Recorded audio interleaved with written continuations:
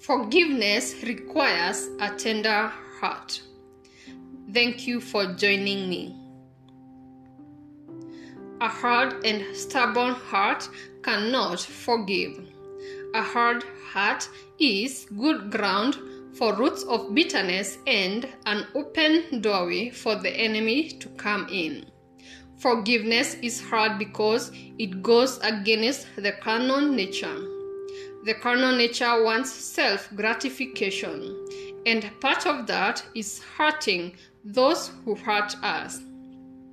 Hurting them whether with words or actions, by slandering and gossiping, by turning other people against that person who has hurt you, by demeaning them with actions and words. Forgiveness seems hard because we think to ourselves that when we forgive, we are excusing the other person's wrongs. Yet that is not so. It never means we excuse their wrongs. It does not mean that what they did or said was okay. It does not mean we allow them to continue hurting us. On the contrary, it is an act of mercy. It means they hurt us so much, yet we choose to release them from our hearts. We choose to release them from we choose to release those who have hurt us as an act of obedience to God and so that our souls can be set free and healed. Bitterness is poison to our souls. It keeps us in chains, tied to those who hurt us. It opens the door for the enemy to come in and start playing with our minds and ruin our lives. Without forgiveness, our hearts remain heavy. Without forgiveness, our prayer life and relationship with God is affected.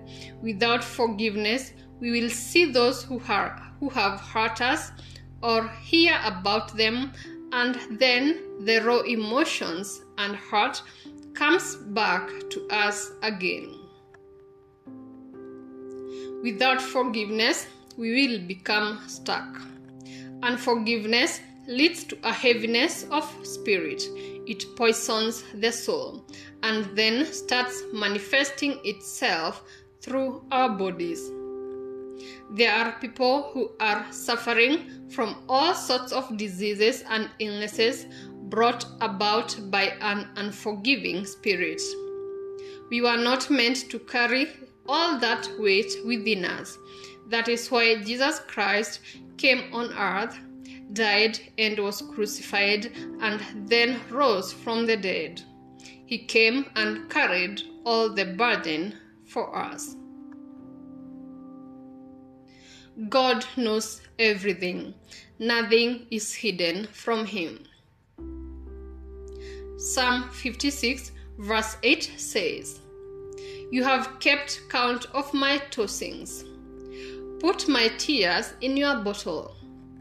Are they not in your book? God knows our struggles.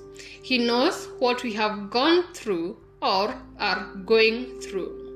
He sees the tears we shed. He sees the broken heart.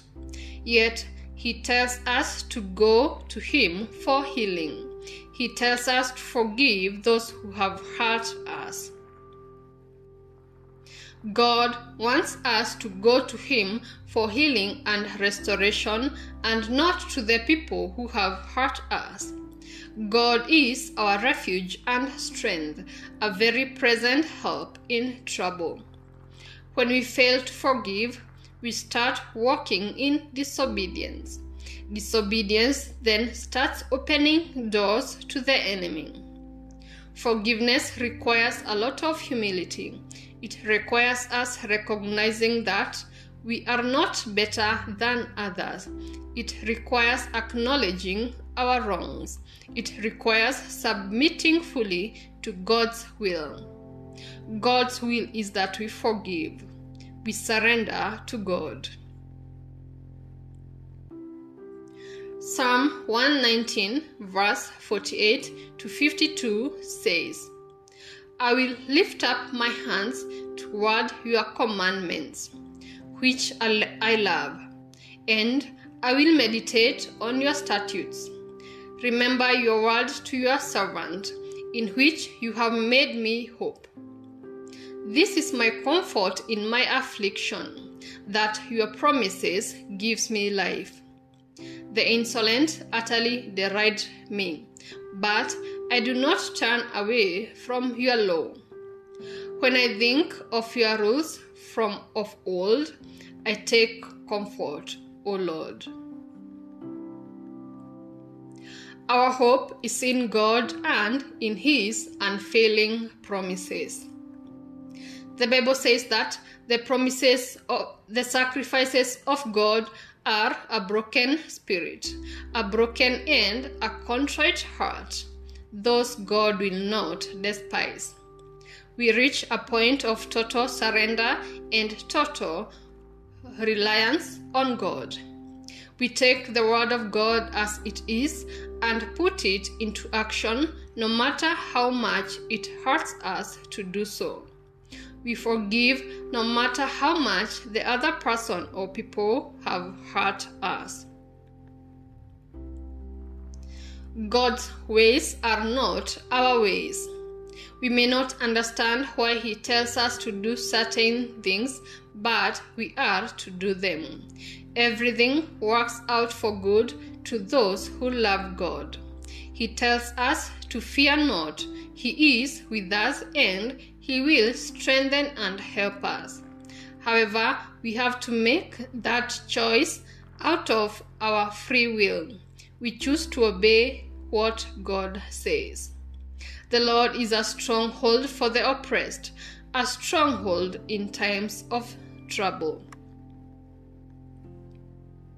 We have been forgiven much, and because of that, we also forgive much.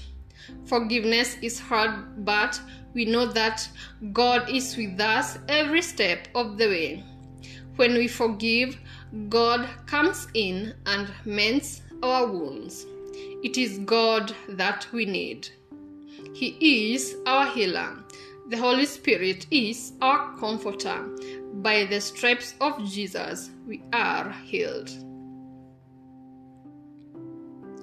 When we forgive, our soul is set free and the spirit lifts up. We know whose we are, we know where we are headed. Jesus bore it all for us, including offenses done against us. Jesus Christ's death and resurrection makes it legally and moral right to forgive. At the cross of Jesus, we lay everything. Isaiah 53, verse 5 says, But he was pierced through for our transgressions, he was crushed for our iniquities. The chastening for our well being fell upon him, and by his scourging we are healed. We love God because He first loved us. We forgive because we have already been forgiven. We see people as God sees them. God restores our joy. Joy only comes from God. Be blessed.